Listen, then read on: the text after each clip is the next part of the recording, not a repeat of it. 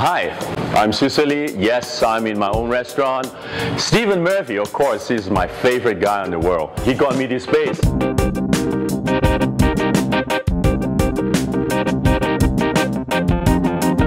You know, I want to thank him and uh, wish him all the best and hope he will come and visit us.